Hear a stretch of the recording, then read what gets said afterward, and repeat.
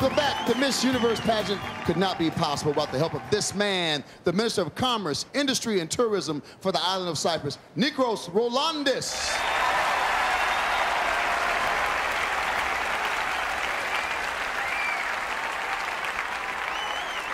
Just one more question to answer. It's the big one that'll give the judges one last chance to decide which woman deserves to be Miss Universe. Each will be asked the same question, so to make it fair, we will send Venezuela and India. Please step over to our special listening booth where funk music will be pumped into the ears so they cannot hear anything. Ladies, Spain, we will go this way. It's the last chance, 20 seconds to answer. They want an interpreter, they have an interpreter. We must make sure they are sealed so they cannot hear what's going on over here. We are specially trained individuals. We're flown in from America. Can you hear me? There we go. Here is your final question. Right now, there's a protest going on right here in Cyprus calling the Miss Universe pageant disrespectful of women. Convince them that they're wrong.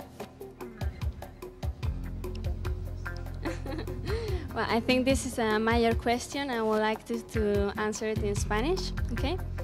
Bueno, eh, yo creo que, los concursos de belleza pues deberían de, de ser mmm, apoyados por todo el mundo porque no solo se trata de belleza y de algo masculino, sino también de lo que sentimos nosotras las mujeres, que tenemos derecho a expresarnos, a expresar nuestra belleza y a decir lo que sentimos.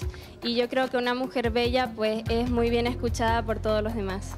I think that beauty pageants should be like respected by everybody because I think that beautiful women also de uh, deserve respect and I think that we should be heard as beautiful women also.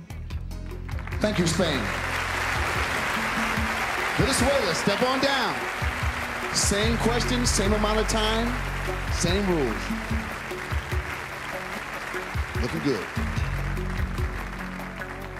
All right, here is your final question. Right now, there's a protest going on right out here in Cyprus calling the Miss Universe pageant disrespectful of women. Convince them that they're wrong.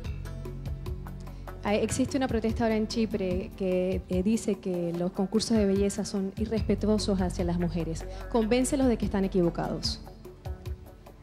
If this happened here in Cyprus, I think that I could that I could say to all these people that beauty pageants are not just beauty. Uh, they're looking for a completely woman with intelligent, smart, and beauty, of course, but it's not just beauty. They're looking for a completely woman, and it's this is very nice for women. It's not bad for us. Thank you, Venezuela. India, same question, same amount of time.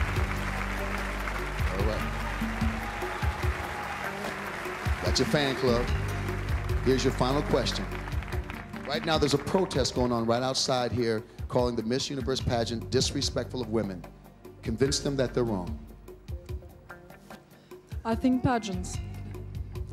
I think pageants like the Miss Universe pageant gives us young women a platform to foray into the fields that we want to and forge ahead, be it entrepreneurship, be it the armed forces, be it politics. It gives us a platform to voice our choices and opinions and makes us strong, independent that we are today. Thank you. Thank you, India. Once again, our three finalists. Spain. Spain. Well, she answered in Spanish. She took the initiative to do that. I do not think the interpreter gave her her due.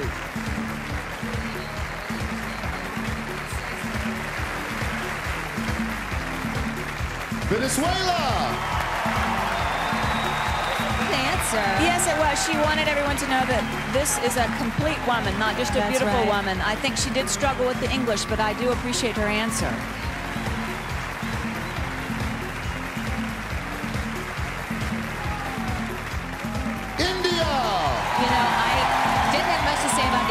But this girl I really have to stand behind. When she grabbed that microphone from Sinbad, she, She- pulled in the audience with Look, her being, her she presence. knows. She knows that she handled it so, so well.